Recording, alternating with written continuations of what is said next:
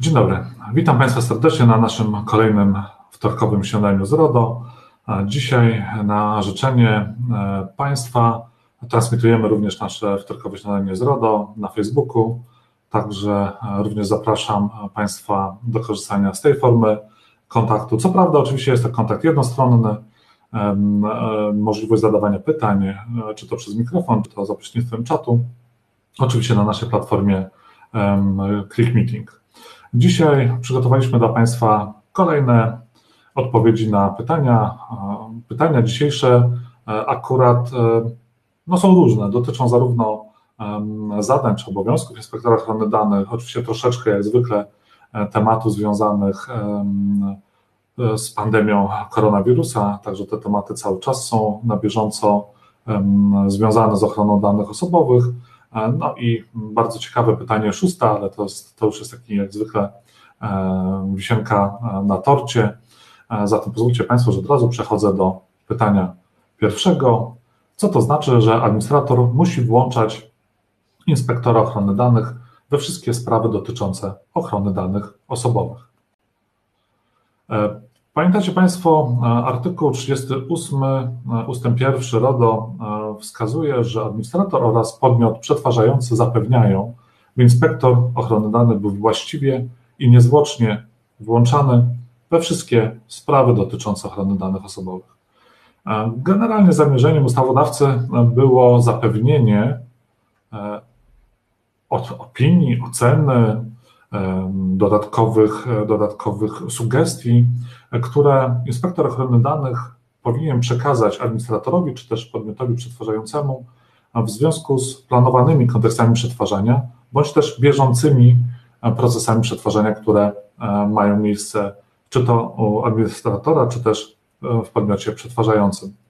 Jest to o tyle istotne, ponieważ tak analizując kontakty z naszymi klientami, w większości przypadków e, wygląda to w następujący sposób. Mamy tutaj naszego inspektora ochrony danych, który kontaktuje się tak naprawdę z firmą, z administratorem danych osobowych za pośrednictwem wybranego jednego działu, czy też jednej komórki organizacyjnej. No tutaj pozwolę sobie na taki przykład, że to jest sekretariat. I w przypadku, kiedy pojawiają się jakieś pytania, czy to z działu marketingu, czy to z, od informatyków, czy w zakresie e, zabezpieczeń techniczno-ochronnych, czy w zależności od rodzaju e, administratora danych, czy od formy prowadzonej działalności. To może być oczywiście produkcja, zaopatrzenie. No zatrudnienie jest wszędzie i dlatego też zaznaczyłem, że bardzo często pytania e, wpływają do, e, na punkt kontaktowy inspektora ochrony danych e, za pośrednictwem sekretariatu właśnie zatrudnienia. Ale to też jest i sprzedaż. No, w podmiotach publicznych mamy również zapytania dotyczące realizacji procedur ochrony danych osobowych w związku z dostępem do informacji publicznej, ale to wszystko odbywa się najczęściej poprzez jedną komórkę, która z nami najczęściej współpracuje.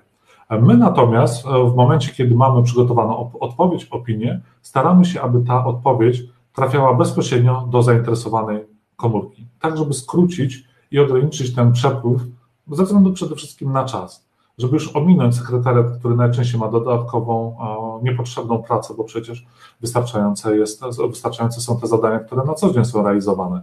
Natomiast oczywiście też do wiadomości najczęściej przesyłamy e, sekretariatowi te informacje, które przygotowujemy, te odpowiedzi, te opinie, ale staramy się, żeby bezpośrednio trafiały one do zainteresowanego działu.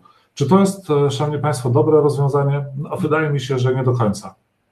Takie szablonowe, piękne, idealne, które chcielibyśmy e, wprowadzić, które chcielibyśmy, aby rzeczywiście działały, w niektórych e, przypadkach tak rzeczywiście jest. E, to sytuacja, w której nasz inspektor ochrony danych rzeczywiście kontaktuje się bezpośrednio z każdym działem, który występuje w, u administratora danych, czy też w podmiocie przetwarzającym, który to bezpośrednio kontaktuje się z inspektorem ochrony danych, bez potrzeby angażowania dodatkowych pośredników. Wiadomo, że im więcej będzie pośredników, tym e, ta wiadomość przekazywana może zostać zniekształcona. No chyba, że to będzie mail, tak, no to są przesyłane. Natomiast chodzi o to, żeby tą drogę e, całkowicie e, uprościć i zminimalizować biurokrację związaną właśnie z tym przekazywaniem informacji inspektorowi ochrony danych. Są sytuacje, w których najwyższe kierownictwo rzeczywiście życzy sobie, aby wszelkie informacje przechodziły również przez ten najwyższy szczebel. Z różnych przyczyn może to wynikać. Nie warto jakby wnikać w te tematy. Jeżeli ktoś tak sobie życzy, to oczywiście tak może pozostać. Tutaj nie ma jakby wymogu, natomiast najlepiej byłoby z naszego punktu widzenia, z punktu widzenia inspektora ochrony danych, żeby każdy, każda osoba, każdy pracownik bezpośrednio mógł się z nami kontaktować i parafrazując klasykę i vice versa, czyli żeby, żebyśmy my jako inspektorzy ochrony danych mieli bezpośredni dostęp do tych osób, które odpowiadają na, za dany dział. Jest to o tyle istotne w przypadku, kiedy chcemy przeprowadzić audyt. Załóżmy audyt no, w obecnej sytuacji, w obecnej sytuacji pandemii koronawirusa. Oczywiście większość naszych audytów realizujemy zdalnie i przyznam szczerze, że w przypadku chociażby ostatnio realizowanych audytów dotyczących Zakładowego Funduszu Świadczeń Socjalnych, najczęściej współpracujemy bezpośrednio z komórkami zatrudnienia i rzeczywiście realizujemy te audyty zdalnie.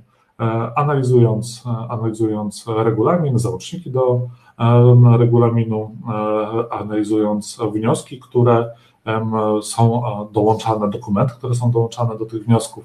To wszystko możemy zrobić naprawdę zdalnie, bezpośrednio kontaktując się z zatrudnieniem. I nie ma tutaj potrzeby angażować dodatkowych osób, tym bardziej może się w niektórych sytuacjach okazać, że ten nasz sekretariat nie posiada upoważnienia do przetwarzania danych osobowych akurat w tym procesie, w procesie Zakładowego Funduszu Świadczeń Socjalnych, bo z założenia nie musi. Równie dobrze te wszystkie wnioski, które wpływają w ramach Zakładowego Funduszu Świadczeń Socjalnych mogą być kierowane na przykład do przewodniczącego Komisji Zakładowego Funduszu bądź do komórki kadrowej. Także jakby tutaj nie ma, nie ma, to, nie ma tego dodatkowego elementu pośredniczącego, który może by tylko powodował niepotrzebne, niepotrzebne wydłużenie tego procesu komunikacyjnego. I tutaj powiem szczerze, dobrze byłoby, Szanowni Państwo, abyśmy właśnie w tą stronę, abyśmy w tą stronę właśnie szli, w tą stronę działali. Dobrze, pytanie drugie, jeżeli Państwo pozwolicie, nie mając dodatkowych pytań, czy można umieścić na stronie www wykaz osób zakwalifikowanych do postępowania rekrutacyjnego? Dobre pytanie, bardzo ogólne, ale w, jeżeli chodzi o samo postępowanie rekrutacyjne, no to powinniśmy podzielić tak naprawdę na dwa takie dodatkowe, dwa oddzielne elementy. Po pierwsze, rekrutacja w przypadku zatrudnienia w trybie kodeksu pracy oraz postępowanie rekrutacyjne, które pozwolią sobie szerzej omówić, dotyczące tak naprawdę placówek oświatowych. I o ile oczywiście samo postępowanie rekrutacyjne, jeżeli chodzi o kodeks pracy, rzadko kiedy chcielibyśmy w ogóle publikować informacje o tym, kto brał udział w postępowaniu rekrutacyjnym, kto został przyjęty do tej pierwszej fazy, kto przeszedł do drugiej, bo nie ma to dla nas jakby większego znaczenia, żeby publikować to na stronie www. O tyle w przypadku rekrutacji do placówek oświatowych zwróćmy uwagę, że tutaj w dobie znowu, w dobie pandemii koronawirusa mamy problem z dotarciem do tych placówek oświatowych i zweryfikowaniem, czy nasze dziecko rzeczywiście zostało zakwalifikowane do tego postępowania. Warto zwrócić uwagę również na to, że przepis artykułu 158, jeżeli mnie pamięć nie myli, tak, artykuł 158 ust. 1 prawa światowego wskazuje, że wyniki postępowania rekrutacyjnego podaje się do publicznej wiadomości w formie listy kandydatów zakwalifikowanych i kandydatów niezakwalifikowanych. Natomiast nie ma o tym słowa, że możemy to zrobić na stronie internetowej. I doskonale Państwo wiecie, że takie listy znajdują się wywieszone w placówkach oświatowych. W większości placówek oświatowych dostęp do obszaru przetwarzania, dostęp do szkoły jest w jakiś sposób utrudniony, czy też są drzwi zamykane, czy jest ktoś na portierni. Rzadko się zdarza, ale też bywają placówki, które posiadają tak zwaną ochronę fizyczną i wówczas zainteresowane osoby dopiero wchodzą i mogą zapoznać się z tą informacją. Jest to jak najbardziej podstawa prawna do tego, żeby coś takiego zrobić. Stanowisko GIODO, a obecnie stanowisko prezesa Urzędu Ochrony Danych Osobowych jest jednoznaczne, nie można wywieszać, upubliczniać list osób zakwalifikowanych, przyjętych do, na stronie internetowej, czy też na stronie Biuletynu Informacji Publicznej.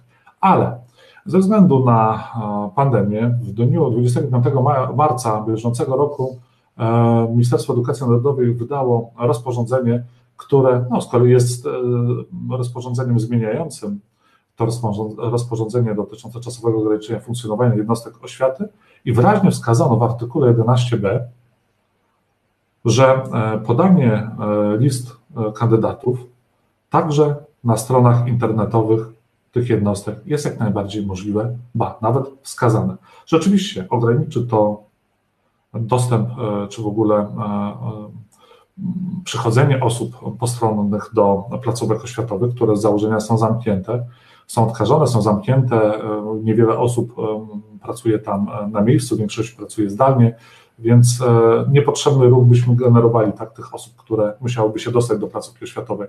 Moim zdaniem jest to bardzo dobre rozwiązanie, z tym, że oczywiście może się okazać, że będzie kwestionowana podstawa prawna takiego rozwiązania.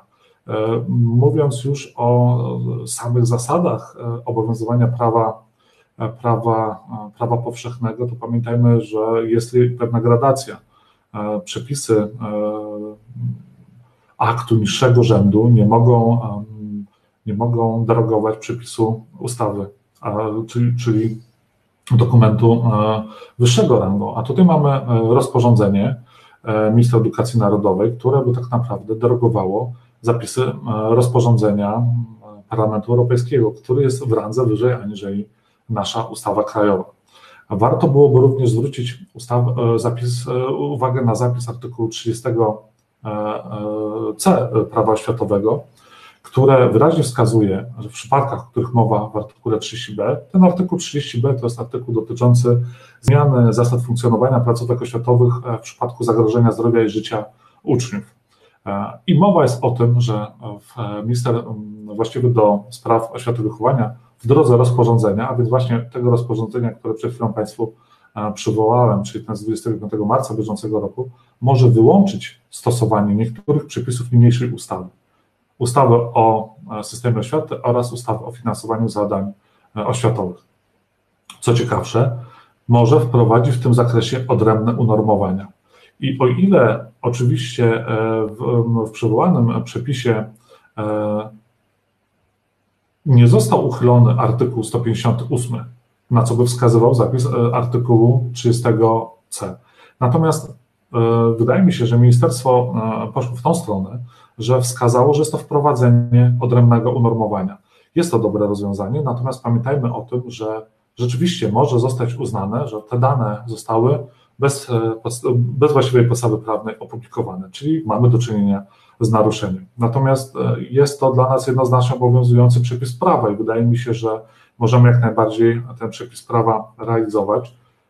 Jeżeli się okaże po, po jakimś tam czasie, że jakaś grupa prawników zakwestionuje e, podstawę prawną e, tego przepisu artykułu 11b, no to cóż, no to ktoś za to odpowie, ale na pewno nie dyrektor szkoły czy przewodniczący komisji rekrutacyjnej, którego obowiązkiem jest e, podanie do publicznej wiadomości listy osób zakwalifikowanych. Także o to się nie martwmy. E, te dysputy prawnicze zostawmy rzeczywiście prawnikom. E, jest to możliwość, jest możliwość opublikowania list na stronach internetowych i to zróbmy. Ale pamiętajmy też o jednej rzeczy. Nie możemy w żadnym przypadku tych list publikować w nieskończoność. Po zakończeniu e, procesu naboru powinniśmy rzeczywiście e, tak naprawdę już te listy z powrotem zanonimizować albo usunąć. To już w zależności od tego, co będzie w Państwa przypadku łatwiejsze. Przejdźmy zatem do pytania trzeciego. Szanowni Państwo, e, czy szkoła może wykorzystać dane uczniów do założenia im konta na platformie e-learningowej? E, pojawiły się e, wytyczne wskazówki Urzędu Ochrony Danych Osobowych odnośnie kształcenia na odległość. I wydaje mi się, że warto je stosować, ponieważ one są rzeczywiście najbardziej miarodajne z punktu widzenia przepisów prawa. Jeżeli chodzi o opinie inspektorów ochrony danych, to one są jak najbardziej zbieżne z poglądami z poglądami, z wytycznymi Urzędu Ochrony Danych Osobowych i wskazuje to jakby na wspólny, wspólne interpretowanie zasad ochrony danych osobowych, z czego akurat ja osobiście bardzo się cieszę. Także jak najbardziej w przypadku, kiedy szkoła w związku z kształceniem na odległość wykupi usługę chociażby takiej wideokonferencji, z jakiej my korzystamy, czyli my korzystamy z platformy Click Meeting. Jeżeli szkoła taką platformę wykupi dla swoich e, uczniów, e, nic nie stoi na przeszkodzie, aby zażądać od, e, od rodziców, opiekunów prawnych danych do założenia konta w takim właśnie, w takim właśnie systemie, w takim właśnie portalu. Co innego, Szanowni Państwo, zbieranie czy gromadzenie nadmiarowych danych osobowych. Tutaj oczywiście tego już robić nie możemy. Pamiętajmy o jednej rzeczy, o artykule 13. W przypadku e, przetwarzania danych na nowe potrzeby, w nowym kontekście przetwarzania, musimy zrealizować obowiązek informacyjny wynikający z artykułu 13 ust. 1 2 RODO, jak Państwo pamiętacie. Kolejna uwaga, która wyraźnie pojawiła się, jeżeli chodzi o kształcenie na odległość, to jest zakaz tak naprawdę e, udostępniania danych osobowych na portalach lub stronach internetowych, takich ogólnie dostępnych, czyli wszelkiego rodzaju messengery, Facebooki, e, inne strony internetowe, które, e, w których można byłoby umieszczać wszelkie dane osobowe, w tym prace klasowe, klasówki, dodatkowe informacje, które zawierałyby dane osobowe, a które byłyby dostępne dla E, większej e, rzeszy odbiorców, co oznaczałoby znowu niezgodne z prawem e, publikowanie danych osobowych. Także tego, Szanowni Państwo, robić nie możemy i pamiętajmy o tym, szczególnie dla tych z Państwa, którzy reprezentujecie placówki światowe, że jest to, jest to niebezpieczne. Oczywiście zapraszam w czwartek na szkolenie poświęcone zarówno pracy zdalnej, jak i kształceniu na odległość, kształceniu w rozumieniu właśnie e, rozporządzenia ministra edukacji narodowej, ale w tym wypadku będzie też ten temat e, poruszany, na jakich platformach można, na jakich nie. Tutaj generalnie pamiętajmy o jednej rzeczy. Zdarzają się sytuacje, w których, w których e, szkoła jakby zmusza, czy zaleca, żąda wręcz założenia przez ucznia konta na wskazanym przez nich portalu internetowym. Są różne te komunikatory, w internecie pojawiają się e, reklamy, jakby żeby podeszły praktycznie.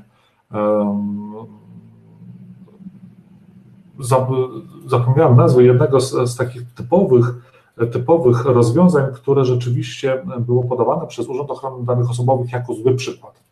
E, także był to dobry przykład złego, złego przykładu, ale niestety e, wypadło mi to z głowy. Nie ma to zresztą większego znaczenia. Pamiętajmy, nie możemy jako placówki oświatowe zmuszać nikogo do wyrażenia zgody na przetwarzanie danych osobowych e, przez innego administratora danych. A w tym wypadku każdy z nas, kto zakłada konto, czy w sklepie internetowym, czy na portalu webinaryjnym, czy na jakimkolwiek innym, e, na, na jakimkolwiek innym rozwiązaniu e, sieciowym, gdzie jedyną przesłanką legalności przetwarzania jest zgoda, to pamiętajmy, że ta zgoda musi być wyrażona dobrowolnie. Nie możemy zatem zmuszać nikogo do zakładania kont na platformie, która jest, jest przez kogoś używana. Znowu przykład nasz, czyli platforma Click Meeting. E, państwo rejestrując się na nasze spotkania, e, wyrażacie zgodę e, tak naprawdę na przetwarzanie danych osobowych w związku z uczestniczeniem w naszych spotkaniach, czy szkoleniach, czy webinariach, ale wyrażacie tę zgodę na przetwarzanie danych osobowych przed administratora, czyli przez naszą firmę, przez naszą kancelarię. My mamy e, zawartą stosowną umowę powierzenia przetwarzania danych z ClickBinning, czyli z, tą, z wykonawcą naszej platformy i e, tak naprawdę oni przetwarzają dane osobowe państwa na nasze polecenie. Zatem tutaj przesłanką legalności przetwarzania jest zgoda, ale wyrażona dla nas. Natomiast właśnie polecenie założenia zgody na jakiejś innej platformie komunikacyjnej wiązałoby się z tym, że Państwo wyrażacie zgodę tamtemu administratorowi danych osobowych, do czego nie możecie zostać zmuszeni przez e, innego administratora, czyli przez nas. E, wiem, że to trochę może jest skomplikowane, bo nigdy nie żyliśmy w, czas, w, taki, w takim formacie, że musimy rzeczywiście posługiwać się tymi platformami e-learningowymi. Były to raczej sporadyczne, sporadyczne okoliczności, chociaż przyznam szczerze, że w swojej, w swojej dawnej, dawnej, jeden z dawnych e, wcześniej wykonywanych prac, rzeczywiście wprowadzaliśmy takie platformy learningowe bodajże już 6 czy 7 lat temu i było to wtedy pewnego rodzaju nowum, ale okazało się, że dla firmy o zasięgu ogólnopolskim było to dobre rozwiązanie już wtedy. Także myślę, że teraz nauczymy się nowych rozwiązań i będziemy mogli z nich jak najbardziej korzystać. Kolejne pytanie, czy inspektor ochrony danych zobowiązany jest do opracowania polityk ochrony danych? Wracając znowu, odwołując się do Państwa pamięci, mamy nasz artykuł 24, czyli w zasadzie e, podstawowe obowiązki administratora danych osobowych. E, generalnie chodzi nam o ustęp drugi. E, jeżeli po przeprowadzeniu oceny skutków dla ochrony danych albo analizy ryzyka w, w zakresie przetwarzanych danych osobowych okaże się, że musimy wdrożyć odpowiednie środki organizacyjne i techniczne, dobrze byłoby oczywiście je w jakiś sposób opisać. Jak to Państwo wiecie, my E, te nasze procedury opisujemy w tak zwanej księdze polityk, ale generalnie to nie jest nic innego jak polityki ochrony danych. Rzeczywiście ustęp drugi artykułu 24 wyraźnie wskazuje, że jeżeli jest to proporcjonalne w stosunku do tych czynności przetwarzania, wprowadza się odpowiednie polityki ochrony danych.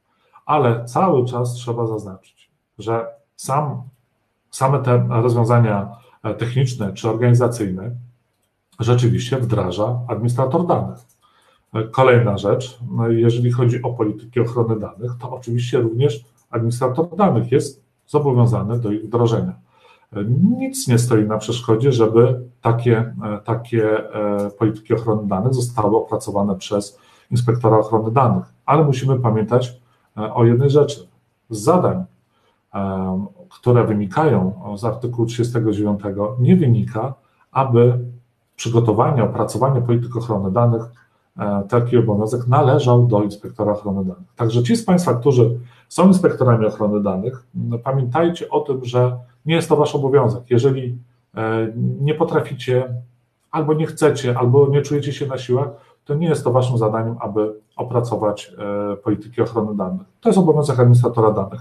Oczywiście, patrząc na, przykład na ocenę skutków dla ochrony danych osobowych, czyli artykuł 35, jak najbardziej administrator E, przeprowadzając tą ocenę skutków, powinien opiniować, opiniować e, swoje rozwiązania z wykorzystaniem wiedzy inspektora ochrony danych. Także to jak najbardziej e, inspektor ochrony danych może w tym pomóc, ale nie oznacza to, że ma przygotować polityki ochrony danych. Tutaj pamiętacie Państwo, Podstawowe te zadania z artykułu 39 pozwoliłem sobie wymienić. Natomiast oczywiście jako inspektorzy ochrony danych pamiętajmy o przeprowadzaniu audytów. Jeżeli e, rzeczywiście e, bezpośrednio z artykułu 39 e, wynika, że jednym tak naprawdę z zadań inspektora jest monitorowanie przestrzegania przepisów niniejszego rozporządzenia, czy w rozumieniu RODO, to oczywiście również zostało no, wprowadzone wskazanie, że mamy monitorować polityki administratora lub podmiotu przetwarzającego.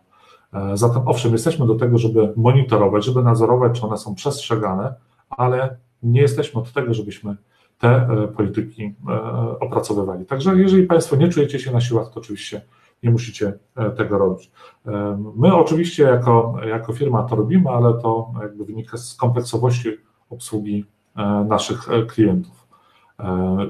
Tutaj jeszcze ostatnie, ostatnie zadania wynikające z artykułu 39, czyli współpraca z organem nadzorczym, pełnienie funkcji punktu kontaktowego, które jest tak troszeczkę w dwóch jakby miejscach, bo zarówno w artykule 39, jak i w 38 ustęp 4 e, wskazane jest, e, wskazana jest możliwość kontaktowania się e, we wszystkich sprawach związanych z ochroną danych osobowych z inspektorem ochrony danych. Czyli nadal to nie jest obowiązek opracowania polityk. Także te obawy, które macie teraz Państwo, czy ktoś może wyciągnąć jakieś negatywne konsekwencje e, wobec e, państwa ze względu na to, że nie było przygotowanych procedur związanych z pandemią koronawirusa, odpowiadam jednoznacznie, e, nie macie się Państwo czego obawiać, żadne konsekwencje negatywne nie mogą być wobec Państwa w związku z tym wyciągane.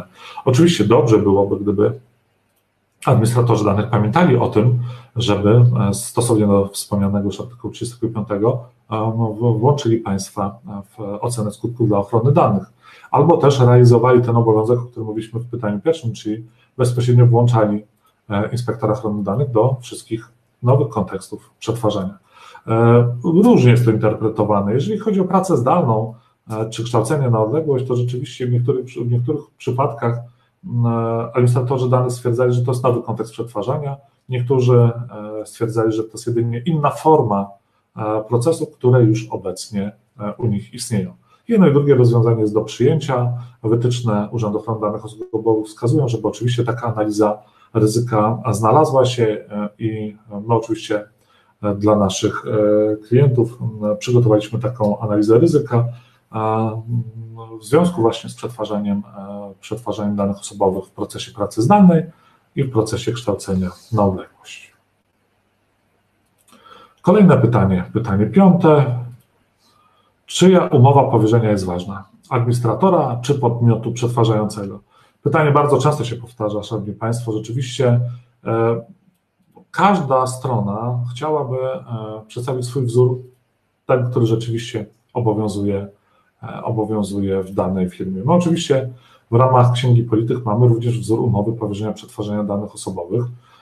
Rzeczywiście staramy się stosować jako administrator danych wobec każdego podmiotu przetwarzającego nasz wzór, nasz projekt umowy powierzenia przetwarzania danych, ponieważ wiemy, że tam zapisy są naprawdę uczciwe dla obu stron i e, tylko te, które są wymagane artykułem 28 e, RODO. Nie oczekujemy niczego nowego. E, natomiast bardzo często rzeczywiście podmioty przetwarzające, szczególnie te, które świadczą usługi setkom, jak nie tysiącom podmiotów, mają już własną przygotowaną E, umowę powierzenia przetwarzania danych, którą chcą e, e, zawrzeć w takiej formule, w jakiej oni to przygotowali. I podrzucają ją gotową razem z projektem umowy zasadniczej. Wtedy w taki, taka sytuacja też jest dopuszczalna, tylko wtedy pamiętajmy o jednej rzeczy. Każdorazowo powinna być ona zaopiniowana przez inspektora ochrony danych. Nie podpisujmy w ciemno żadnej umowy powierzenia przetwarzania danych, ponieważ, no, tak jak pozwoliłem sobie tutaj na tym slajdzie wskazać taką fajną fajną, e, króciutko, króciutką, fajną, e, fajny opis zasady, zasad zawierania umów w naszym kraju. No, rzeczywiście jest to dosyć przykre, jak się to przeczyta ze zrozumieniem, ponieważ no, tak niestety jest. Jak patrzymy na te umowy, gdzie stroną dominującą zawsze jest ktoś, kto nam coś oferuje, ale małym druczkiem wpisuje różne zastrzeżenia albo kary umowne, e, które w zasadzie mogą być nakładane w dowolnym momencie nawet za to, że brzydka pogoda, to powiem Państwu szczerze, że to przeraża. Z punktu widzenia prawnika to jest no, bardzo nie w porządku. Dlatego też e, pamiętajmy, aby w przypadku, kiedy mamy taki projekt umowy, zawsze e, za pośrednictwem naszego inspektora e, ochrony danych, żeby uzyskać jego opinię. Bardzo często się zdarza, że niektóre zapisy są są proponowane są zmiany do tych zapisów, niektóre całkowicie próbujemy usunąć, w niektórych przypadkach nie widzimy żadnych zagrożeń, jeżeli chodzi o taką umowę i zalecamy jej podpisanie, nie widząc przeciwwskazań. I dopiero na końcu, kiedy ta opinia rzeczywiście i ta umowa zostanie dopracowana, dopasowana, powinna zostać zawarta. E, nie stoi zatem nic na przeszkodzie, aby e, opiniować właśnie e, umowy powierzenia podmiotów przetwarzających, które nam je dostarczają, bo nie ma w tym nic złego, jeżeli nie ma tam zapisów, które są dla nas niekorzystne. Także na to zwracam szczególną uwagę. Jest to mm, jakby jeden z obowiązków inspektora ochrony danych, tak? Czyli każdorazowo w przypadku wątpliwości każdy z pracowników powinien móc zwrócić się do inspektora ochrony danych, czyli musi być ten punkt kontaktowy, gdzie chociażby jakaś osoba z marketingu e, przesyła e, umowę, projekt umowy zasadniczy wraz z projektem umowy powierzenia przetwarzania danych do zaopiniowania naszemu inspektorowi ochrony danych. Także to szczególnie zalecamy e, każdemu, każdemu administratorowi danych. Kolejne pytanie, pytanie szóste, już dzisiaj ostatnie, mówiłem, że to jest moja wisienka na torcie. Czy w związku z obowiązywaniem specustawy RODO może nie być stosowane?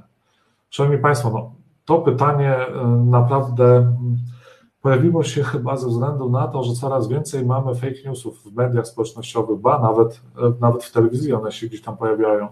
Pojawiają się informacje, że obowiązująca specustawa może pozbawić nas e, w zasadzie wszelkich praw, które wynikają z Konstytucji. Otóż, Szanowni Państwo, nie. Pojawiają się również informacje w mediach, że grupy prawników stanowczo e, są przeciwne stwierdzeniom, że na przykład obowiązuje zakaz wychodzenia z domu, czy też, czy też inne ograniczenia, które są na nas nakładane z punktu widzenia rozporządzenia dotyczącego przeciwdziałania COVID-19. Szanowni Państwo, warto zwrócić uwagę, to zresztą o czym się też głośno w telewizji mówi, a propos konstytucji i wskazanych w konstytucji e, trzech e, rodzajów stanów wyjątkowych, czyli stan wojenny, stan wyjątkowy i stan klęski, e, klęski żywiołowej. Tutaj, Szanowni Państwo, postaram się Państwu szybko zwrócić uwagę na jedną rzecz.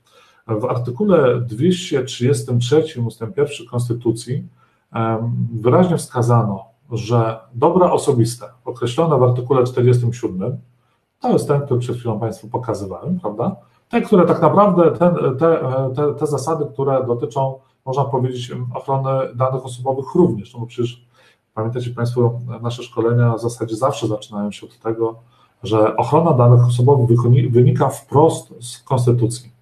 Także rzeczywiście w, artykuł 47 jest jakby taką podstawą do o, mówienia o ochronie danych osobowych. I rzeczywiście, jeżeli chodzi o e, stan wojenny i stan wyjątkowy, nie może być żadne rozporządzenie wydane, które by ograniczało nam prawa wynikające z artykułu 47. Nie może. Zatem, po pierwsze, gdyby nawet był ogłoszony stan wojenny czy stan wyjątkowy, to nadal ochrona danych osobowych obowiązuje. Zatem nadal obowiązuje RODO, nadal obowiązuje ustawa o ochronie danych osobowych z 2018 roku i inne przepisy szczególne, które dotyczą naszych dóbr osobistych. Natomiast w przypadku, kiedy e, zostało, został, została, został ogłoszony stan klęski e, żywiołowej, e, wówczas ograniczeniu tak naprawdę podlegają tylko enumeratywnie określone wolności wskazane w artykule 233 ust. 3 Konstytucji. I proszę zwrócić uwagę, że żaden, żaden ten artykuł nie jest naszym ukochanym artykułem 47. Mamy bowiem artykuł 22, czyli wolność działalności gospodarczej, artykuł 41, wolność osobista, artykuł 50, nienaruszalność mieszkania, artykuł 52 ust. 1, wolność poruszania się i pobytu na terytorium Rzeczypospolitej Polskiej, artykuł 59 ust. 3, prawo do strajku, Artykuł 64 prawo własności, artykuł 65 ust. 1 prawo o wolność pracy i artykuł 66 ust. 1 prawo do bezpiecznych i higienicznych warunków pracy oraz 66 ust. 2 prawo do wypoczynku. Czyli w przypadku klęski żywiołowej rzeczywiście te prawa mogą zostać ograniczone. Natomiast w Konstytucji nie znalazł się przepis artykułu 47, który wskazuje, jak przypominam, zasady ochrony życia prywatnego. Także nie ma, Szanowni Państwo, możliwości, aby rzeczywiście nagle okazało się, że Poczta Polska będzie mogła otwierać nasze, naszą korespondencję, nasze listy. Nie ma takiej możliwości. Oczywiście trzeba to stanowczo dementować. To są typowe fake newsy, ale na to też, Szanowni Państwo, nic nie poradzimy. Niestety, e, one będą się pojawiać. E, wszelkie niewłaściwe e, zrozumienie przepisu będzie skutkowało sianiem paniki. Pamiętacie Państwo ustawę o dokumentach publicznych? Jak były, e, jak pojawiały się informacje w mediach, że będzie zakaz kserowania czegokolwiek, w jakikolwiek sposób kopiowania e, wszelkich dokumentów, jakie mogłyby być, czy to e, świadectw, czy dowodów osobistych, paszportów i tak. Okazuje się, Szanowni Państwo, że no, były, były to działania przesadzone i o tym już mówiliśmy bardzo, bardzo szybko, w momencie, kiedy zaczęła obowiązywać ta nowelizacja ustawy, która ograniczała rzeczywiście ograniczała rzeczywiście e, kopiowanie, wykonywanie replik e, pewnego rodzaju dokumentów, natomiast e, no, no było to typowe sianie paniki. Obecnie jesteśmy dokładnie w tym samym czasie, w tej samej sytuacji, także stanowczo podkreślam, że nie ma możliwości, aby prawo przestało działać tylko dlatego, że mamy koronawirusa. Nie ma takiej możliwości. Przede wszystkim pozostaje konstytucja, której zawiesić nie można, a więc nie można również dowolnie stosować tych e, ograniczeń, e, które e, wynikają z, bezpośrednio z jej zapisów. W dniu dzisiejszym to było ostatnie pytanie. Jak zwykle czekam na Państwa pytania. Jak, jak zwykle czekam oczywiście pod adresem naszego punktu kontaktowego. Czekamy również na Państwa pytania zgłaszane za pośrednictwem infolinii Czat jak zwykle jest otwarty, pytań żadnych nie ma, zatem czekamy na te pytania przesłane drogą mailową. Tymczasem życzymy Państwu jak zwykle samego zdrowia, pięknej pogody, nie musimy, bo ona za oknami jest. I cóż, do zobaczenia za tydzień na kolejnym wtorkowym śniadaniu z RODO. Tych z Państwa, którzy jesteście zainteresowani pracą zdalną, tematyką pracy zdalnej i, i, i kształceniem nowego, zapraszam do rejestracji na czwartkowe szkolenie. Pytań nie ma, nie widzę, także Państwu, bardzo Państwu dziękuję. Pozdrawiam serdecznie. Do zobaczenia, do usłyszenia.